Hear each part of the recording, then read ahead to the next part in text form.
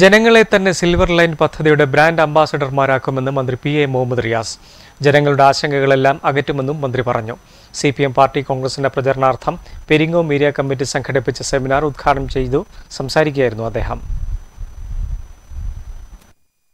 Silver line പദ്ധതിയും സർവേയും ഒരു വിഭാഗത്തിൽ നിന്നും വലിയ എതിർപ്പുകൾ നേരിടുന്ന സാഹചര്യത്തിലാണ് മന്ത്രി മുഹമ്മദ് റിയാസിന്റെ പ്രതികരണം.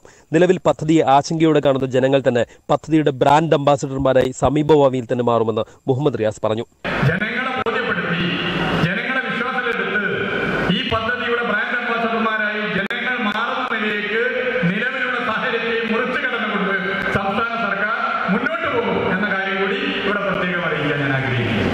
മതനിരപേക്ഷത ഉയർത്തിപ്പിടിക്കുന്ന സി പി എം സെമിനാറുകൾ ബഹിഷ്കരിക്കുന്ന കോൺഗ്രസിന് ബി ജെ പിയുമായി സമരവേദി പങ്കിടാൻ യാതൊരു മടിയുമില്ലെന്നും അദ്ദേഹം കൂട്ടിച്ചേർത്തു. സി പി എം പാർട്ടി കോൺഗ്രസിന്റെ പ്രചരണാർത്ഥമാണ് പാർട്ടിയുടെ പെരിങ്ങോം ഏരിയ കമ്മിറ്റി സെമിനാർ സംഘടിപ്പിച്ചത്.